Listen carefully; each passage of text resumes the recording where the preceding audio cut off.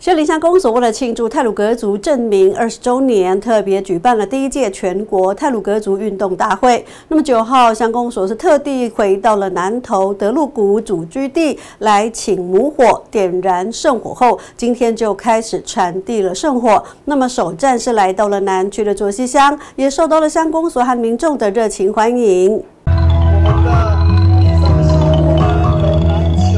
校长手持第一届泰鲁格族全国运动会的主圣火，与其他六位圣火队选手缓缓跑进卓西乡公所大楼前广场。不仅公所同仁热情欢迎，轮山国小的小朋友也以献舞来迎接，场面盛大热闹。卓志乡圣火队主圣火选手的乡代表苏桂妹兴奋期待，更以自己泰鲁格族感到骄傲。传递烛火。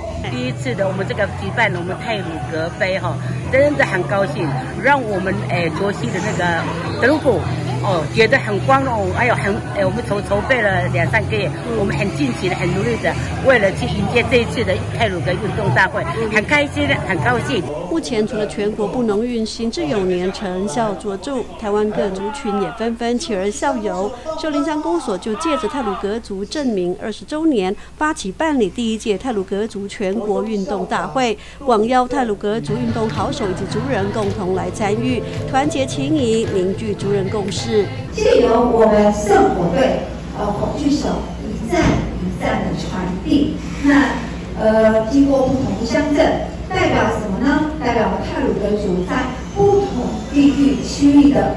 感情的连结跟团结。秀林乡公所承办的第一届全国泰鲁格族运动会，最后从南投鹿谷村祖居地请母火点燃圣火后，今天开始就从南区的卓溪乡开跑传递。乡公所也盛大迎接。居住在立山以及伦山唯二的泰鲁格族村落的族人，也将全力以赴为卓溪争光。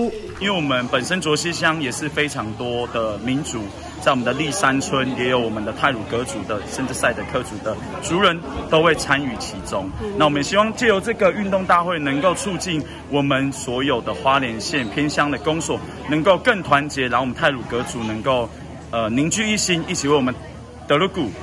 一起加油！第一届全国泰鲁格族运动会比赛从九月二十六号起陆续举行，二十八号举办开幕以及选手之夜，二十九日则是闭幕。每天都会有秀林、万荣、卓西等地的农特产品展售，也邀请所有乡亲一同来见证这重大赛事的美好。记者石玉兰、张敏泰、卓西采访报道。